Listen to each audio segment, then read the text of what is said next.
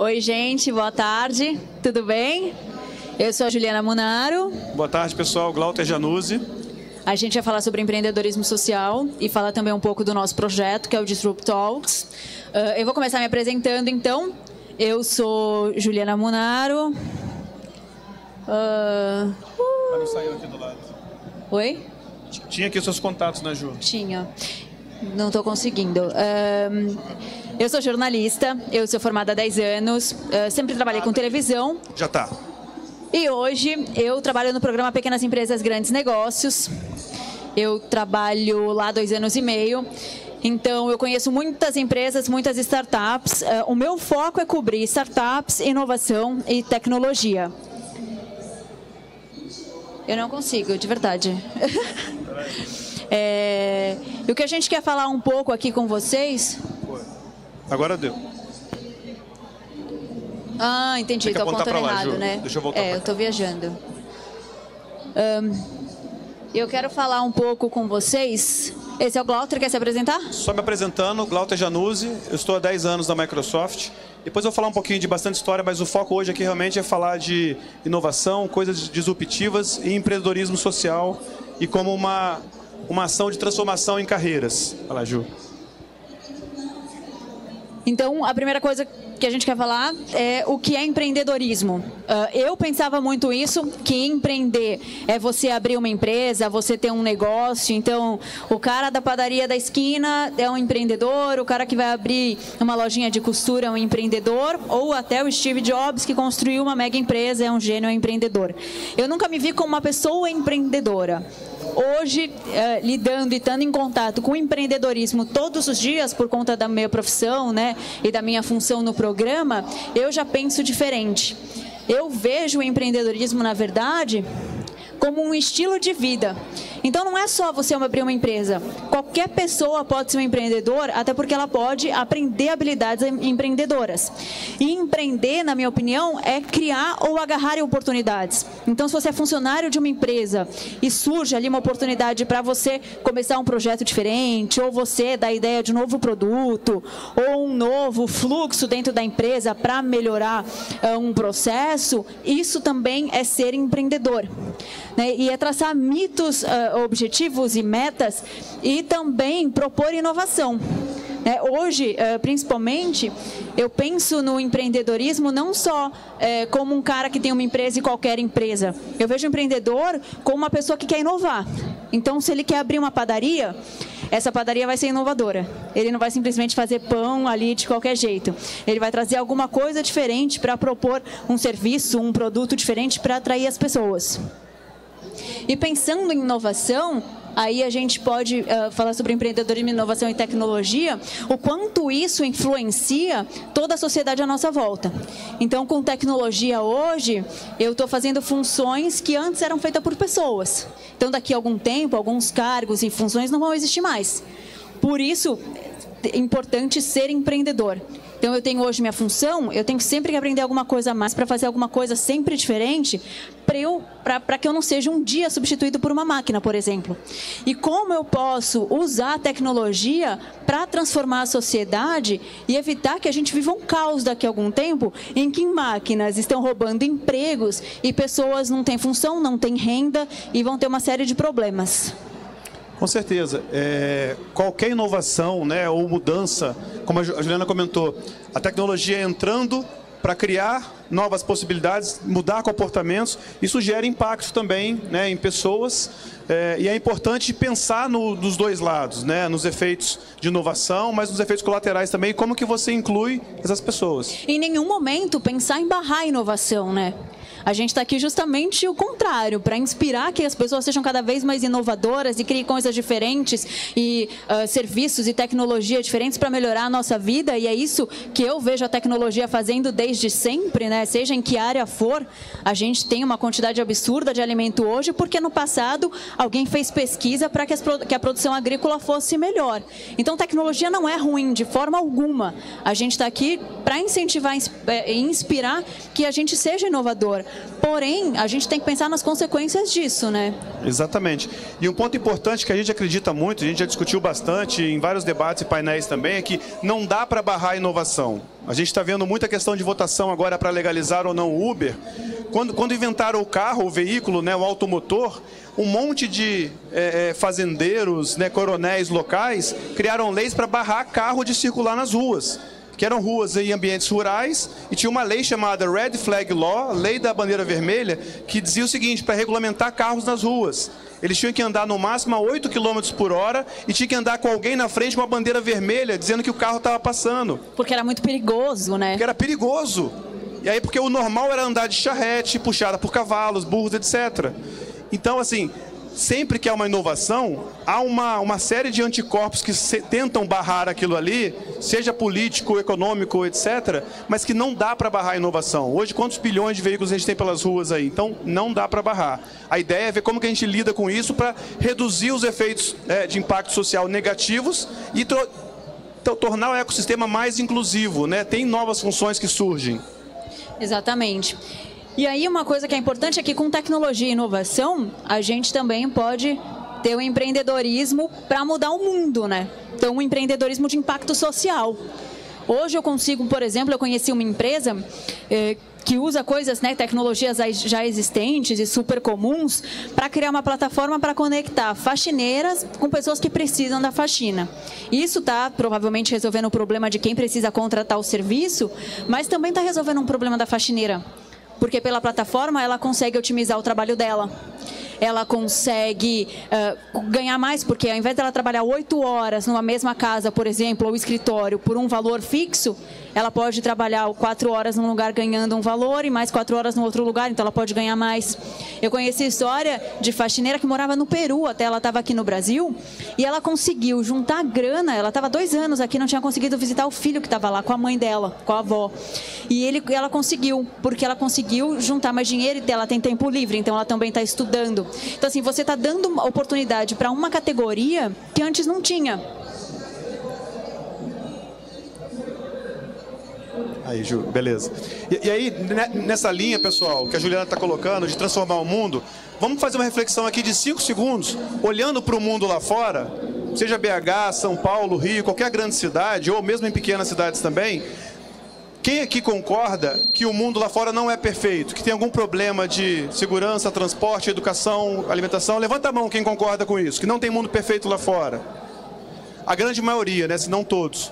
Então, por esse aspecto, a gente pode olhar lá para fora e escolher um problema. Eu não preciso escolher todos, eu não vou resolver todos, mas escolher um problema, seja ambiental, seja de educação, seja de segurança, seja de transporte, vários, tem vários lá fora, escolhe um e vamos tentar tra tratar aquele problema. Com isso a gente vai gerar impacto social. Acho que essa é a grande mensagem que a gente vai estar discorrendo aqui, né, Ju? A gente vê problema todos os dias, né? Se a gente pensar fora da caixa, entender como aquilo pode ser melhorado, a gente com certeza vai arrumar uma solução. Seja um aplicativo para facilitar ir pegar um ônibus, pegar um metrô, seja uma plataforma para ajudar alguém, né? Exatamente. Vamos resolver o problema de moradia. Tem gente investindo nisso, né? Como construir casas de uma forma mais barata e mais produtiva para que todo mundo tenha acesso à habitação é, decente, né? Que aí isso é o empreendedorismo de impacto social. Em nenhum momento eu estou falando em caridade ou em ONG, terceiro setor, não vou ter lucro. Uma empresa social, ela pode sim gerar lucro e isso é importante para que a empresa seja justamente sustentável. Sem faturar, não tem como manter uma empresa. Só que o objetivo principal desse tipo de empresa é gerar o um impacto social. E aí você tem que ter aquele balanço. Né? O que vai ser meu faturamento, em que momento eu vou privilegiar o meu faturamento, em que momento eu vou privilegiar o impacto social, como que eu vou conseguir é, sustentar esse impacto social. Eu conheci há pouco tempo um rapaz que ele abriu uma escola de inglês, porque ele era da periferia do Rio de Janeiro, conseguiu passar na USP num curso de economia, achou que estava feito na vida, né? Tô aqui, vou ter um cargo bacana e tal. E ele se sentia totalmente deslocado porque ele não sabia inglês como os colegas dele de sala. Que em geral era pessoal de classe mais alta, que tinha estudado em escola particular. Aí ele falou: eu tenho que criar um jeito para que a galera, como eu, tenha acesso ao ensino de inglês. E ele criou uma uh, startup social que dá aula de inglês para periferia e pessoal de comunidades, mas ele também dá aula em empresas. Então, se a empresa quer contratar o serviço dele, ele contrata por um valor um pouco maior e aí a mensalidade do funcionário dessa empresa vai estar tá pagando a bolsa para o aluno da periferia estudar. Então, assim, ele consegue ter o equilíbrio de uma empresa sustentável, que está faturando e até mesmo gerando lucro, mas também ele gera um impacto.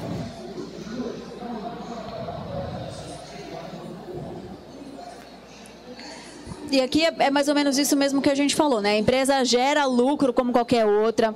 A administração também tem que ser transparente. Eu tenho que ser clara com uh, quem está tendo o meu serviço e também com a minha equipe, para que seja claro como o lucro está sendo utilizado. Porque eu posso utilizar o lucro para dividir comigo, com meu sócio, eventualmente com meus funcionários, mas eu posso usar esse lucro justamente também para reverter, para gerar mais impacto né? mais impacto, mais benefícios, criar novos serviços.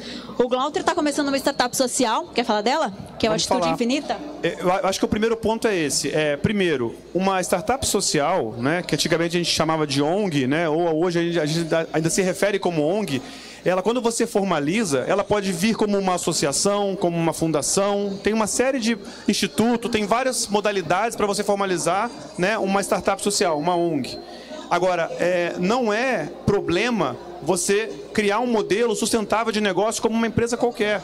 Então, ela tem que gerar, né? ela tem que ser sustentável, porque o primeiro objetivo de qualquer empresa, de qualquer negócio, não é ter lucro ou não é impactar pessoas ou impactar o social. É não morrer, é perenidade, é continuar existindo.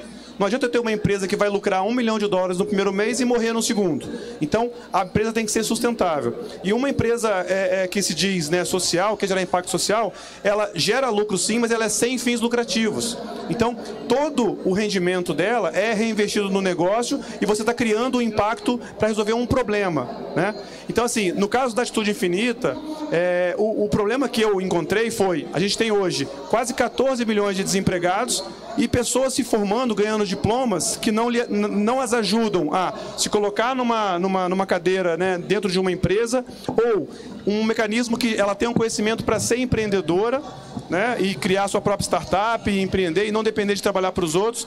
E aí a forma que eu encontrei de resolver esse problema foi criar uma ponte entre profissionais de diversas cadeiras, diversas profissões e empreendedores e trazer para dentro das faculdades né? fazer essa ponte com as escolas e pessoas que estão no mercado. Então, os projetos basicamente são para unir o poder público, o poder privado, as instituições né, acadêmicas em prol desse movimento, inclusive empreendedor. Né? E a gente nunca cobra, a gente não quer é, criar mensalidades para cobrar dos alunos. O foco principalmente são nas escolas públicas é, e com isso eu vou atrás, a gente vai atrás de poder privado, né, empresas privadas que vão patrocinar essas ações e a gente leva outros instrutores para dentro das salas de aulas. Domingo, né, é sábado, a Juliana estava lá é, fazendo né, o discurso dela, ensinando para vários jovens de ensino médio sobre empreendedorismo, sobre a carreira de jornalismo também, como funciona. A gente teve um outro é, profissional que falou também da Globo, da parte de design né, e tudo mais, criação de jogos, animações. Então, em cada encontro, a gente teve profissionais de diferentes perfis. Então, o problema que eu encontrei foi esse e estou tentando resolver dessa forma. Então, cada um de nós aqui pode olhar para o mundo e identificar um problema e tentar atacar aquilo ali, né? Porque o, o importante é isso. A gente entender uh, como a gente vai usar a nossa habilidade e talvez oportunidades que a gente teve, que não é da maioria das pessoas, para impactar. É, a, eu acredito muito que o empreendedorismo pode mudar o país e pode melhorar o país. Primeiro, porque por si só ele já gira economia, já gera emprego. Tá? Isso já seria ótimo. Se eu puder ter 300 mil empresas pequenas que estão gerando emprego, ao invés de ter uma grande indústria que gera metade do que essas pequenas empresas vão gerar, melhor o pequeno empreendedor. Né? Se ele ainda puder ser uma empresa que vai gerar impacto social, isso pode ser de diversas formas. O Glauter resolveu dessa forma. De repente, um cara que vai abrir o armarinho na esquina da minha casa, ele pode usar isso como uma forma de impactar a comunidade ali em volta dele. Né? Então, como que eu vou escolher para quem eu vou dar emprego? Né? Ah, é, é, meu funcionário vai trabalhar aqui para mim, mas eu também quero colocar ele para estudar, vou dar oportunidade. Isso também faz parte. Você pode criar um modelo de negócio uh, que até uma, uma simples loja pode gerar um impacto social. Então, acho que é importante a gente ter essa mente aberta. A gente tem passado tantos problemas, né? E acho que a crise econômica aí dos últimos anos é, tem prejudicado tanta gente. A gente vive falando de problema, a gente reclama dos políticos, todo dia corrupção, a gente assiste o jornal e é uma tristeza, mas como eu posso, né, na minha realidade, o que está ali no meu alcance, o que, que eu posso fazer para mudar isso? É, eu sei que muitas vezes a gente se sente impotente, parece que a gente não vai chegar a lugar nenhum. Mas não é verdade. Se eu conseguir impactar algumas pessoas ali da minha comunidade, do meu bairro, da minha rua, ou que seja do meu prédio, imagina depois se essa pessoa que foi impactada por você não pode impactar outras pessoas, que vai impactar outras pessoas. Isso acaba virando uma corrente. É, isso, nessa a, a, gente chama até de corrente do bem, a gente estava conversando, né, Ju, é, que tem uma postura perante a vida que muita gente fica passivo, só observando ou reclamando é, que políticos não nos representam, ou isso ou aquilo, ou tá ruim, eu estou sem emprego, mas vamos tentar mudar um pouco e ser protagonista, ser dono das nossas carreiras, vidas, etc. Então, assim, a gente tem uma série de problemas e oportunidades para resolver se a gente tiver um olhar diferente. Tem uma estatística mundial que de 100% da população do planeta, 80% ficam só observando. E apenas 20 é que vão tentar fazer alguma coisa, vão agir, vão tentar empreender e resolver problemas. Então o que a gente quer, quando a gente vem fazer uma palestra, fazer um bate-papo, é que primeiro, vocês saiam daqui diferente da forma de como vocês chegaram. Então que vocês sejam parte desses 20%. E se está difícil pra caramba, mas uma coisa é verdade, uma pessoa, como a Juliana bem deu o exemplo, uma pessoa pode começar a impactar outras. E é assim que começa, ninguém começa grande. Né? O espírito de startup. E quando a gente fala de empreendedorismo hoje, né, em 2017, a gente está focando muito mais no empreendedorismo na economia criativa. Eu quero transformar uma ideia numa solução de um problema e que pode ser escalável daqui a pouco. Eu não quero focar na economia da escassez, eu não quero criar uma nova indústria para agredir o ambiente, transformar alguma coisa, sair vendendo, mas vai poluir também e vai deixar alimentos piores, etc. Então, transformar ideias em algo, uma solução de problemas, é algo que não acaba nunca. Isso é economia criativa. E você pode fazer isso para resolver problemas sociais. Esse é o ponto. E a gente tem tanta ferramenta hoje, né? Tanta tecnologia que a gente pode colocar a favor dessas questões sociais. Então a gente tem ferramentas, smartphone, né? Hoje a maioria das pessoas tem internet na palma da mão. Criar plataformas de economia compartilhada, né? Isso já é sustentável. Isso de certa forma já está ajudando o mundo de algum jeito. Então a gente tem acesso a muita coisa que, se a gente pensar um pouquinho, a gente consegue colocar a favor disso. Essa daqui é a startup que eu falei. Esses dois aqui, o Eliakim e o Martin, eles são os criadores do Easy Casa, que é a, a startup que promove o encontro de faxineiras com os clientes. E uma das coisas que eles fazem é obrigar o profissional a ser MEI. Então, assim, imagina, é um setor que é completamente desregulamentado, de certa forma, né? A gente tem as leis para domésticas e tal, mas que não se tem controle disso, né? Se a pessoa é MEI, você já tem um certo controle. Ela necessariamente vai ter acesso ao INSS, por exemplo, e outras vantagens. É, então, é interessante. Você está tornando uma profissional que até, de certa forma, está à margem porque é uma profissional que não emite nota, é uma profissional que vai de casa em casa, ela não sabe onde ela está indo, é tudo de boca. Você está profissionalizando esse setor, né? Então, assim, imagina uma pessoa que antes trabalhava de qualquer jeito, nessa coisa boca a boca, o como ela não se sente uh, mais importante e confortável em poder estar tá prestando esse serviço também de uma melhor forma, né? Eu sou meio, eu sou uma empresa, eu presto um serviço para alguém, né? Hoje a gente trata a faxineira, parece que alguém da família, não, tudo bem, é tudo meio de qualquer jeito, então não precisa ser assim, né?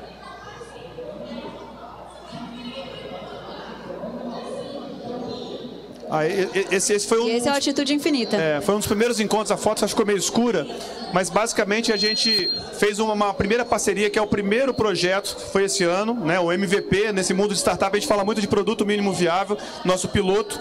Então a gente fez um piloto em outubro, chamado Outubro com Atitude, com encontros aos sábados para é, é uma rede de escolas do ensino médio. Né? E aí em cada encontro a gente teve uma quantidade X de estudantes, esse foi o primeiro, a gente teve 240 mais ou menos, num teatro bem grande, e aí basicamente estudantes do nono ano, primeiro ano, segundo e terceiro do segundo grau, né, ensino médio. E basicamente qual era o, a, o propósito? É ser ponte entre todo mundo que está trabalhando em diferentes funções e empreendedores também e trazer esse pessoal para dentro da faculdade, né? Como eu estava falando. Porque até um slogan, acho que eu não coloquei aqui, mas a gente criou, é que tem um monte de gente hoje empregado né, no mercado de trabalho, né, já realizaram suas funções, ou empreendedores, mas que estão só naquele mundo deles ali, não compartilham nada, são ilhas.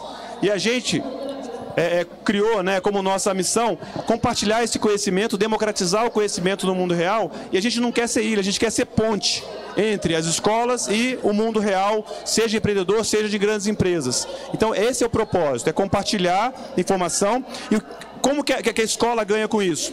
A escola que está recebendo esses profissionais, elas têm pessoas que nunca seriam professores dessa escola, dando uma aula, uma super aula, fazendo, né, passando conhecimento real, né, prático para os alunos. Os alunos ganham não só com o conteúdo que eles recebem, mas com o networking também, o relacionamento que eles criaram com a Juliana, comigo e com outros que passaram por lá. Então essa é a ideia, para a gente poder ter um ecossistema mais inclusivo e quando eles saírem e receberem o diploma, não é só o que eles aprenderam lá, mas tem um conhecimento adicional e tem as pessoas que eles conheceram também e podem conectar e podem usar. E essa é outra questão também, né, do empreendedorismo social. Não só você impactar a sociedade com o seu serviço, mas como você vai trazer isso para dentro da sua empresa? Então eu não vou ter uma empresa de tecnologia em que eu vou contratar só homens brancos da classe A que se formaram em Harvard, sei lá. Né? Eu vou contratar também mulheres, eu vou contratar também negros, eu vou contratar pessoas daquela comunidade que eu quero impactar, até porque provavelmente ele conhece muito mais aquele mundo do que eu que sou de fora. Né? Então eu conheci também um aplicativo esses dias e é engraçado porque eles, na verdade, não é uma empresa de impacto social. É, era uma reportagem que eu estava fazendo sobre cidades inteligentes e eles tinham um aplicativo para ajudar na mobilidade, avisando que hora chega o ônibus e tudo mais, tendo esse controle. Só que eles tinham um desenvolvedor que era cego, que é cego, ele ainda trabalha lá. É, e aí o aplicativo ele foi desenvolvido pensando nessa acessibilidade, porque ali dentro tinha um cego. Então eu nunca vou entender a necessidade de um cego. Para ele era importante, por exemplo, conseguir controlar por voz o celular. Porque como é que um cego vai ficar andando com o smartphone na mão na rua? Ele já tinha sido assaltado várias vezes por causa disso. Então ele consegue pelo controle do fone de ouvido monitorar o telefone e ir controlando. Então assim, eu jamais pensaria nisso e talvez toda uma equipe de pessoas que não tem deficiência visual, talvez não conseguisse pensar nisso. Só que tendo essa pessoa ali, o aplicativo se tornou inclusivo. Né? Então essa é a importância de você ter uma equipe né, multicultural.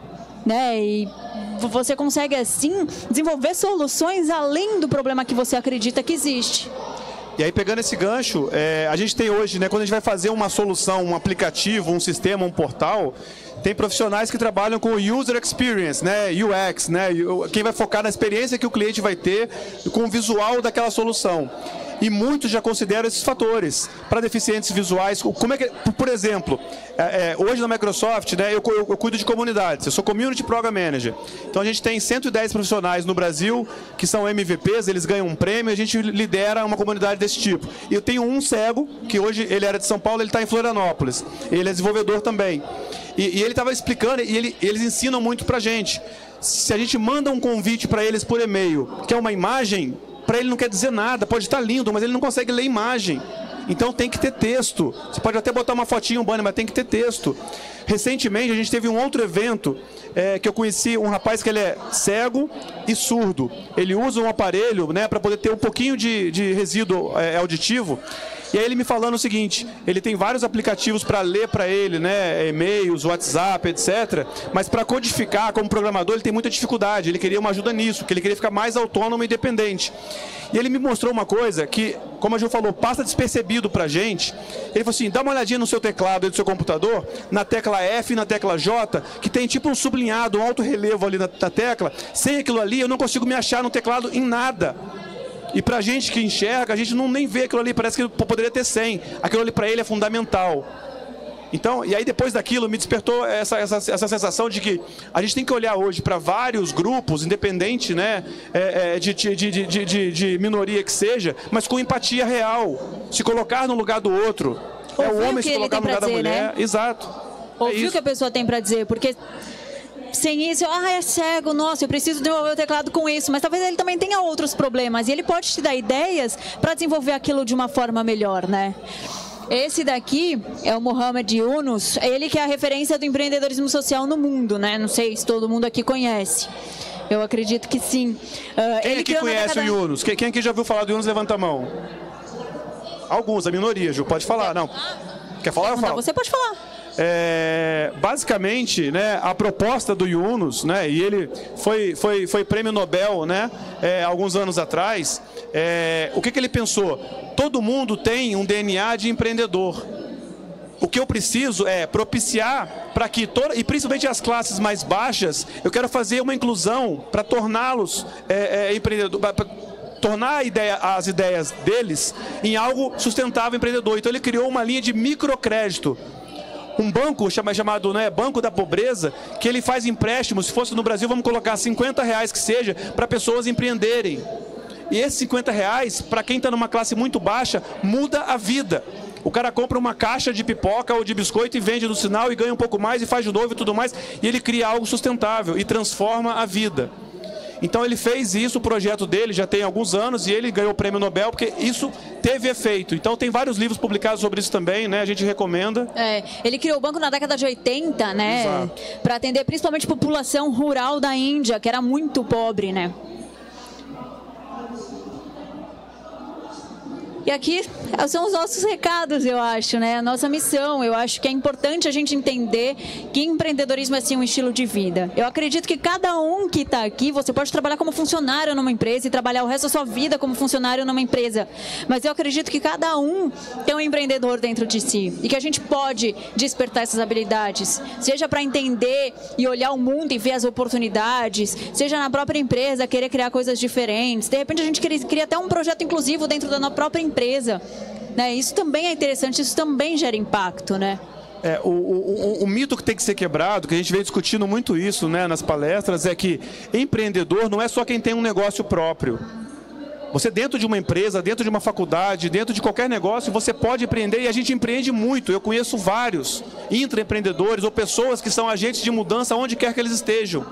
Né, e todo o processo que eu tenho como empreendedor para abrir uma empresa né, formalizada, eu tenho dentro de uma grande empresa, ou dentro de uma pequena empresa, ou dentro da minha faculdade, para vender um projeto, que é tentar primeiro vender a ideia para os outros, para poder ter parceiros do lado que vão me complementar. É criar mecanismos para eu poder subsidiar o meu projeto. É, depois é vender, quem que vai adquirir isso aí, a minha solução? Então, todo o ciclo externo funciona também para dentro de empresas, para dentro de ambientes escolares. Então, o, o, empreendedor não é só quem tem um negócio próprio, acho que essa que é a mensagem, ele transforma vidas. Tem transformado as nossas, né, Juliana? Exatamente. E para quem quer empreender, principalmente nessa questão do impacto social, existem várias organizações, tem até a nos Negócios Sociais também, por exemplo, que ajuda nisso, né? Uma incubadora, uma aceleradora de startups, voltada voltada para essa questão social, que tem informação, mentoria, eles ajudam, eles podem auxiliar. Não é só essa, existem outras nesse sentido também. Então, se vocês têm essa ideia e vocês pretendem empreender gerando impacto, vocês podem procurar esse tipo de empresa para ter auxílio. É isso, qualquer um pode ser empreendedor, né? Justamente Exatamente. isso que a gente está falando. Até nós. Até a gente. vamos, vamos, mostrar o, o, do nosso projeto? Cadê? Vamos. Uh, Deixar... Falhou. Falar pro nosso amigo lá para mudar. Amigão, voltou, voltou, Ju. Vê o que está apertando, Ju. Será que eu estou apertando errado? A aperta o mesmo de antes e depois volta. Isso. Aê. Isso. Bom, essa sou eu, esses são os meus contatos. Podem me seguir nas redes sociais, LinkedIn, Facebook, Instagram, tudo. Eu respondo. Se tiverem alguma pergunta, é só a gente, vai, a gente vai compartilhar os contatos, né? Depois tem os meus também. Deixa o pessoal pegar o da Juliana aí. É, e a gente vai mostrar o nosso livro que a gente está lançando esse mês, né? Exatamente.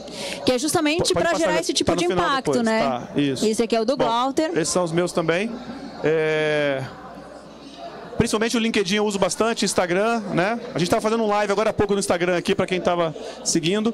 É, eu não tenho o Facebook, mas do livro Espírito Startup, é, que eu publiquei há alguns meses, a gente tem. Pode passar, Ju, vamos botar o nosso livro para a gente poder falar um pouquinho?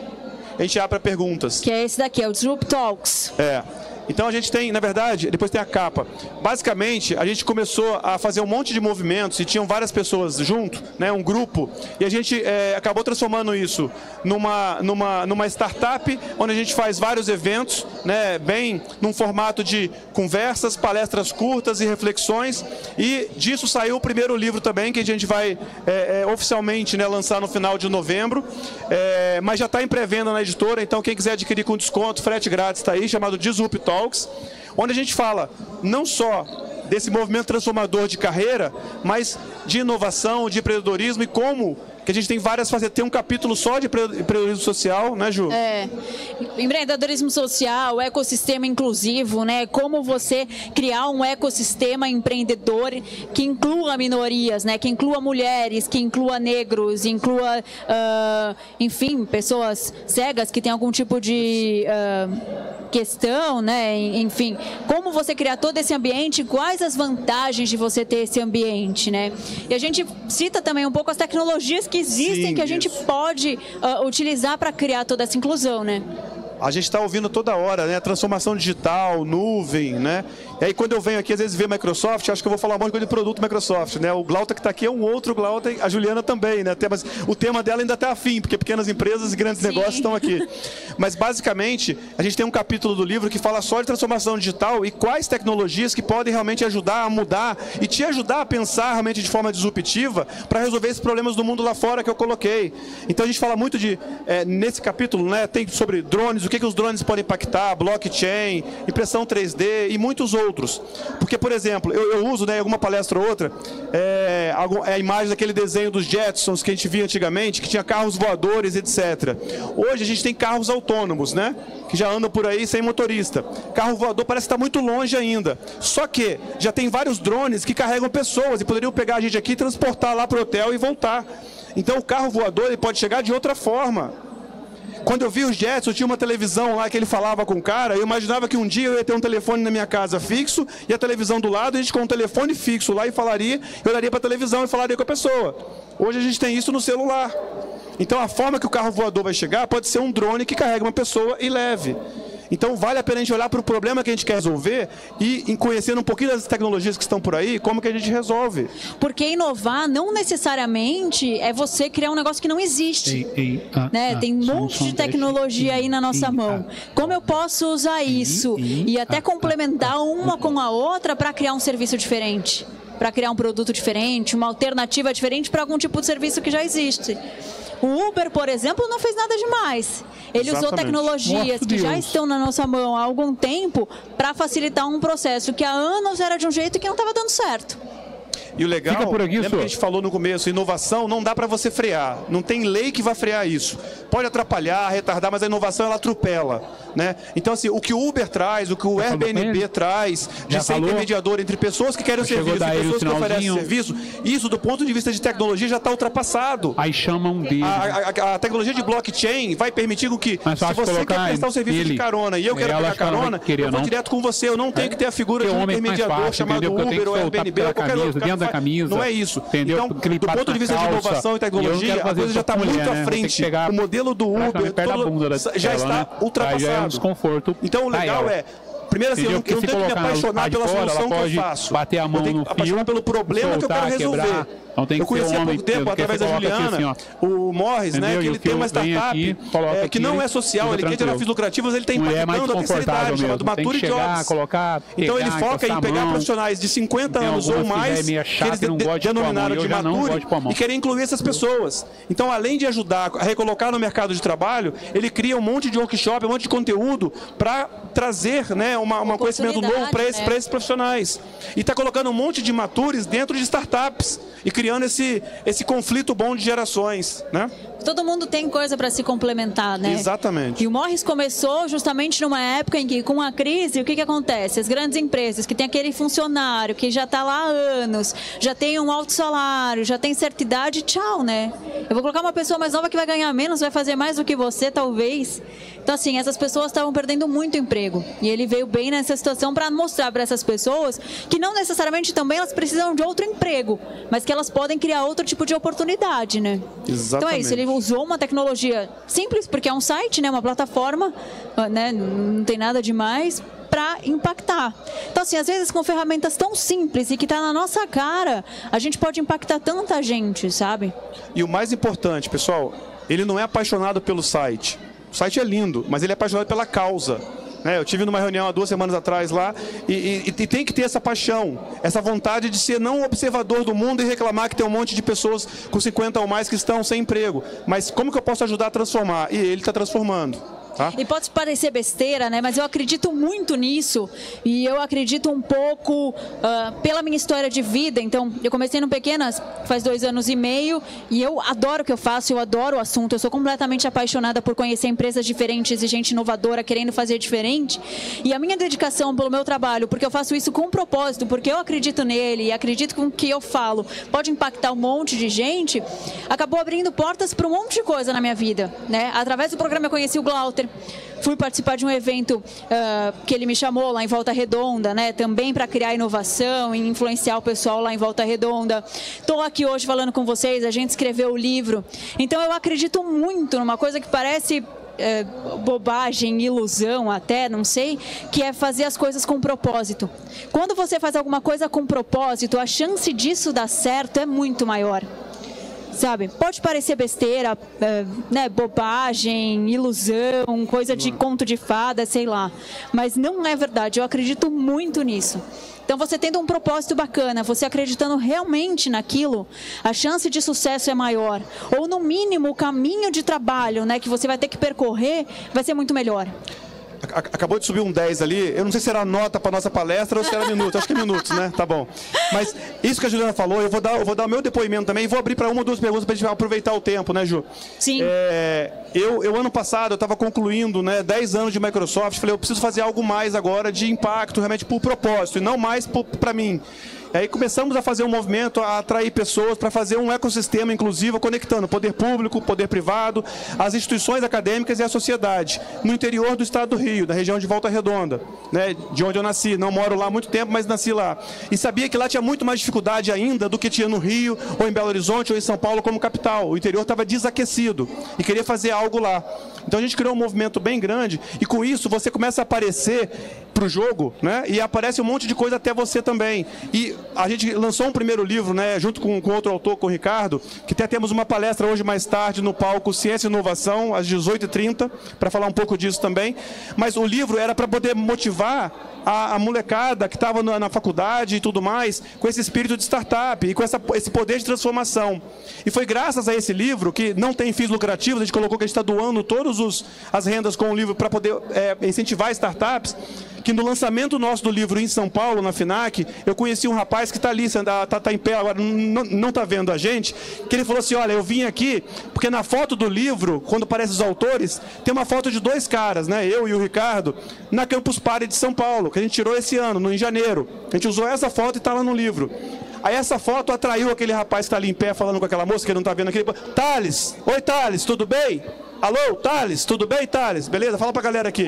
Aquele rapaz ali, é, foi lá, na, foi lá na FINAC, eu não o conhecia, e ele estava sentado assim na primeira fileira, igual essa moça aqui, e depois veio falar com a gente, que foi lá atraído por aquela foto que a gente colocou espontaneamente. E graças a isso, e, e vendo o movimento do Vale Digital e tudo mais, ele falou, poxa, eu queria que vocês palestrassem em outras campus Pare. A gente esteve em Brasília, estamos aqui em BH agora e vamos estar em São Paulo no começo de janeiro, no final de janeiro. Então, se você quer a bola, aparece para o jogo. A gente não fez com o propósito de vir aqui palestrar. Fizemos com o propósito de criar um ecossistema lá em Volta Redonda e região, chamado Vale Digital. Mas isso apareceu. E quer ver o mais bacana? Eu conheci um monte de gente bacana, uma está aqui comigo, estamos fazendo coisa junto, e além disso, na própria Microsoft, eu estava na área de vendas e abri uma área, eu não estava focando nisso, para trabalhar com comunidades. Então, até, até dentro da empresa que eu estava, que eu estava fazendo coisas para fora, abriu uma vaga para mim nessa corrente do bem para eu trabalhar com o que eu estava fazendo já legal, com todo prazer e propósito fora. Então, acredite, se você quer a bola, aparece para o jogo, pessoal. Começa a tentar conversar com as pessoas, compartilhar a ideia. Não tem aquela coisa, ah, tem uma ideia mirabolante, mas não vou abrir para ninguém que eu quero fazer. Essa ideia não vai sair do papel nunca. Compartilha a ideia, não tem medo de né, é, trocar a ideia, falar com as pessoas, porque você descobre um outro lado das pessoas também. Né? É, isso é importante sempre, né? Compartilhar a ideia, não ter medo de contar para ninguém, não ter medo de errar né? Seja você vai empreender da forma que for, como funcionário, ou tendo uma empresa, não tenha medo de errar. A gente aqui tem uma cultura muito disso, né? Ai, vou errar, vou fazer errado, não vai dar certo, a gente acaba fazendo nunca. Né? Então começa. Vamos começar a fazer. Com um propósito, as coisas acontecem, Exatamente. parece o destino uh, ajudando a tudo dar certo e funciona, é isso. É fato. Alguém tem uma pergunta, pessoal, para aproveitar o tempo Sentar, aqui? Vamos... tá, vamos Pode sentar. sentar, Ju, por favor. Deixa eu dar o microfone. Tem algum outro aí? Não.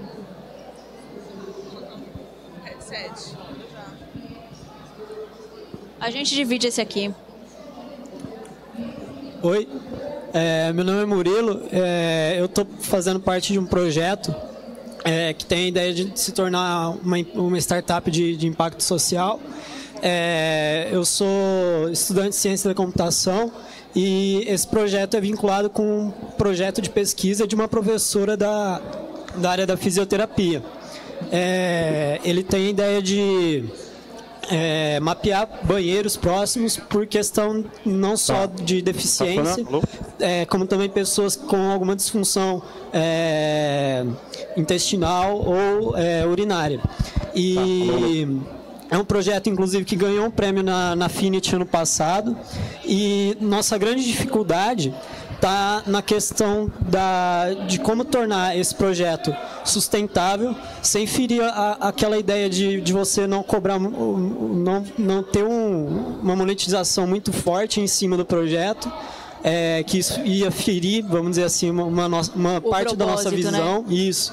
E também a questão de tirar um pouco da, da questão de pesquisa que é, é, fica bem lento, né? Quando você fala de startup tem toda uma dinâmica muito rápida, as coisas acontecem e na área da pesquisa tem toda aquela coisa de planejar, planejar, planejar e demorar para acontecer.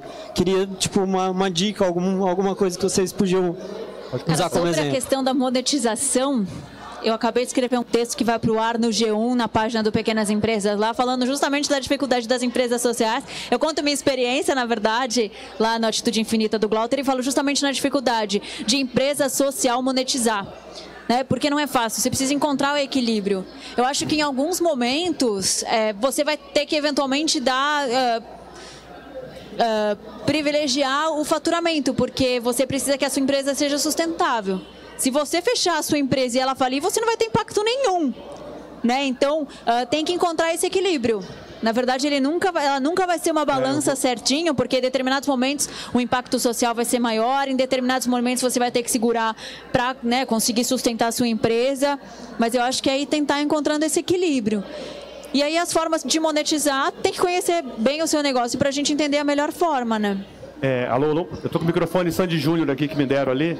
Madonna. É, né? Tô bem? Madonna, Sandy Júnior. É, esse ponto de monetização, eu tenho um ponto de vista bem é, é, específico sobre isso, para startup social. Você tem que di- diferenciar quem é seu cliente e quem é seu público final. Cliente é quem paga. né? E, e o seu público final é quem você quer impactar. No caso da Atitude, por exemplo, eu quero impactar alunos, especialmente de escolas públicas. Né? E eu não quero cobrar nada deles. E aí, quem é o meu cliente que está comprando e está viabilizando o projeto? São empresas privadas daquela região. Então, o nosso MVP que a gente fez agora, que levou a Juliana, por exemplo, de São Paulo para Volta Redonda e tudo mais, eu criei um modelo, porque a gente tem custo de transporte, de hotel, de alimentação e tudo mais das pessoas. Então, eu criei um modelo de custos e vendi né, para patrocinadores, para empresas que querem associar as marcas com aquilo. Então, quem está pagando pelo projeto são empresas privadas. Quem está sendo impactado são os estudantes. Eu não queria cobrar nada deles. E como foi o primeiro, é um piloto. Eu vou replicar isso em 2018 em algumas, e eu vou fazer outras né, instâncias da Atitude Infinita. Mas sempre pegando o patrocínio de uma empresa privada. Já tem uma faculdade privada, por exemplo, que quer levar esse modelo lá para dentro. Então, beleza, eles vão pagar por isso, né, para viabilizar o projeto, só que em contrapartida eles vão me dar 20% de quantidade de alunos para pegar alunos da escola pública e levar para dentro da faculdade particular. Então, essa é a contrapartida que eu pedi para eles, entendeu? Então, separa quem paga e quem você quer atingir. E aí, quem pode pagar? Quem pode ter interesse a vincular a imagem com isso aí, com os profissionais que vão lá? E aí fica mais fácil você vender para esse público, né? Por outro lado, só para dar uma, uma- uma- gerar confusão mesmo, cinco minutos, é, quando você faz algo de graça, às vezes a percepção é que aquilo ali não tem tanto valor. Então, não são todos que aproveitam, por incrível que pareça. A gente esperava, às vezes, num encontro outro, muito mais gente, não são todos que vão. Então, tem um monte de lição aprendida que eu estou tirando para ano que vem aprimorar esse modelo também. Mas no, no fundo é. um valor né? simbólico pelo Exatamente. serviço, né? Ou que traga um alimento de, né, é um alimento é, não perecível, um quilo de alimento não perecível para doar, para poder comprometer que quem vai né, participar vai estar pagando por aquilo ali de alguma forma, para ajudar outras pessoas também. Então tem muitas ideias. Respondemos? Alguma pergunta mais, pessoal? Aproveitando a gente tem cinco minutos. Mais alguém? Ninguém? A gente pode cantar agora aqui, ó. Tá com o microfone. Ali, ali. Cantar, ó, não. Eu. Só que não. Alô? Pega, né? É, meu nome é Matheus e eu tenho muita curiosidade a respeito dessa parte de empreendedorismo social. É um dos planos meu futuro também, talvez entrar nessa parte, se sim um der certo. Parabéns. É, e eu queria saber o seguinte, a parte de contabilidade assim de uma causa social dessa assim, porque a gente sabe que tem uma série de é, le- legislações que têm que serem abrangidas quando você tem a questão dos custos envolvidos ali, que tem que ser totalmente é, sem monetização, tem que ser uma coisa aberta, né? Então, como que funciona essa parte da contabilidade dessa, é, desses gastos, desses custos, do que recebe, do que passa e tal? Como que é Eu feito acho que isso você pode até responder melhor início, que eu, né? principalmente, que é mais difícil, assim. Como foi no início para conseguir? Então, é, na verdade estou no início, então é bom para pegar o seu gancho. Primeiro ponto é, não- é, tem que ter monetização. O que não, o, o- o importante é gerar lucro, mas não ter fins lucrativos. Então você, o que você gerou, a ideia não é gerar lucro, mas todo o conteúdo que você conseguiu de arrecadar dos patrocinadores, investidores, etc, é você reinvestir no negócio, né? Então, é, é, qual é o modelo? E você tem várias formas para poder formalizar isso. Para a atitude, eu estou formalizando ainda, ela, ela não tem CNPJ ainda. Né? Ela vai virar uma associação. Então você pode fundar, uma, e formalizar uma associação, uma fundação ou um instituto. Cada uma tem um. A, a Fundação Getúlio Vargas, por exemplo, né, tem FGV aqui em BH? Tem também, né? É uma, é uma, é uma fundação né, sem fins lucrativos que gera lucro pra caramba. Só que ela não tem ninguém tirando, não tem um dono que está tirando esse lucro para ele. Como é que ela repassa o lucro? Colocando projetos bacanas que vão impactar a sociedade, é, pagando bem para os professores que vão lá dar aula, etc. Então, tudo isso, a- ela está girando economia. É, no meu caso, é uma associação e para esse e é o primeiro projeto. E aí eu estou avaliando, por exemplo, eu fui em São Paulo, São Paulo tem uma, uma, uma rede do cartório já integrado com a Receita eh, Federal e tudo mais, que você vai lá e dá entrada para uma associação, né, de formalização da empresa, da primeira reunião, etc., de qual vai ser o corpo di- eh, diretivo.